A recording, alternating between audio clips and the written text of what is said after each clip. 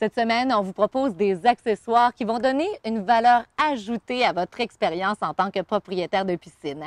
Que ce soit pour faciliter l'entretien, le rangement ou encore même ajouter une touche d'ambiance avec un peu de lumière.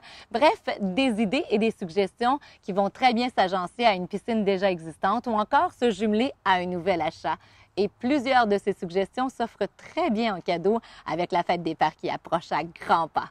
Vous retrouverez l'ensemble de nos suggestions avec les capsules informatives associées à la chronique de cette semaine. Bonne écoute!